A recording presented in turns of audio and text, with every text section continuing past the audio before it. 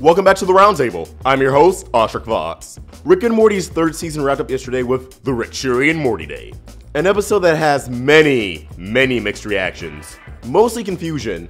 A lot of people just left confused. But to be fair, you have to have a very high IQ to understand Rick and Morty. The humor is extremely subtle, and without a solid grasp of theoretical physics, most of the jokes will go over a typical viewer's head. There's also Rick's nihilistic outlook, which is definitely woven into his characterization and his personal philosophy, which draws heavily from Naruto. While this season Rick and Morty had many ups and downs, it sparked many memes and trends amongst those on the vast world of the internet. This includes Pickle Rick, Jerry's who think they're Ricks, and of course, Szechuan sauce. Rick's self-proclaimed series arc and lifelong mission in the season opener, Rickshank Rickdemption, was to bring back McDonald's coveted Szechuan dipping sauce for their delicious chicken McNuggets. The frequent references and Rick's passionate rant about said sauce sparked an entire internet campaign when the episode initially premiered out of nowhere this past April Fools as a stunt.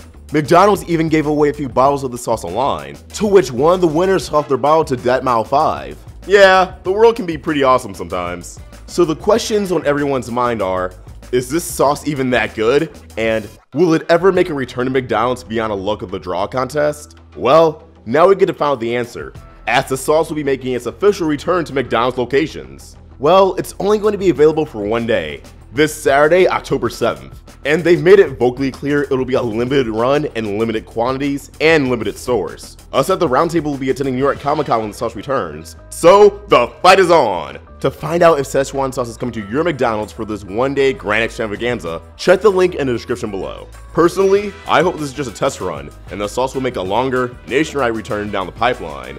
The Mulan live action film doesn't come out until 2019. So while this sauce was originally created for the 1998 film, let's hope the McGods are a little more gracious to all the nugget lovers who just want to try this goddamn sauce. And now that we got the sauce back, even for just a day, what other novelty treats can the Rick and Morty team resurrect? My votes go towards fruity Doritos, cereal straws, and fried apple pies at McDonald's, as opposed to baked. But as always, we'd love to hear your thoughts. So please, let us know how you feel in the comments below. Are you a bit iffy that it's only returning for one day? Will you be the first in line for a shot at tasting what could be an underwhelming experience? Let's get a discussion going. And if you want the conversation going beyond the comments, you can follow and tweet to us at Roundtable Vids or me at Vox. Join our Discord server and download our official Amino app. If you want to support us, consider pledging a dollar on Patreon. Links to all those in the description. I hope you have a beautiful day, and Awestruck Vox signing out.